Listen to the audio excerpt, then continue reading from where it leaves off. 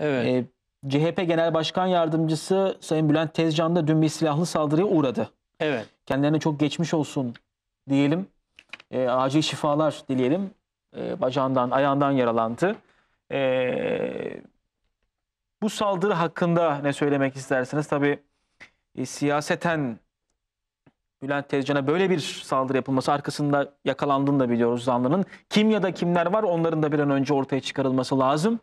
Ee, ama ne söylenebilir? Çok geçmiş olsun diyelim bir kere daha Bülent Tezcan'a. Evet. Ben de önce geçmiş olsun diyorum. CHP Genel Başkanı Kılıçdaroğlu'nun ilk söylediği şey eee, özel bir çatışma alanı var. CHP'ye yönelik bir provokasyon diyor. Daha önce de bana kurşun atmışlardı. Eee, yaşanan doğrudan doğruya tarihtir diyor. Dikkat ederseniz ki hatırlatmış iyi oldu Kılıçdaroğlu onu. Artvin'de miydi? Artvin'de. PKK üstlendi onu biliyorsunuz.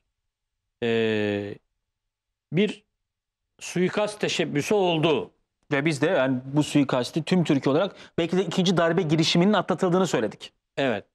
Şimdi e, savaş devam ediyor dedik ya. Türkiye'yi karıştırmak istiyorlar. Hı hı.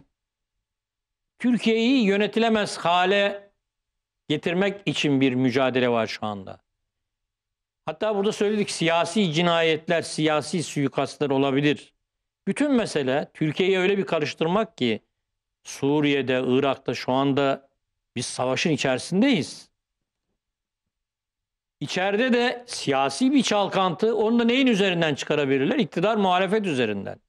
Onun için e, biraz da üzülerek söyledik burada.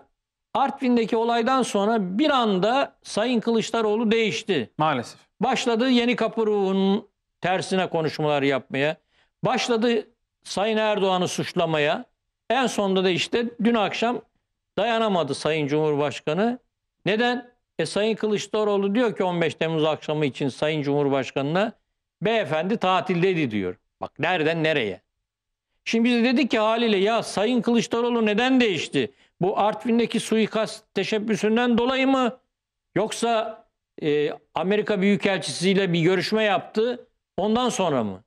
Şimdi CHP'ye yine böyle bir suikast girişimi varsa, bir provokasyon varsa yine CHP'ye bir mesaj veriliyor bence buradan yani.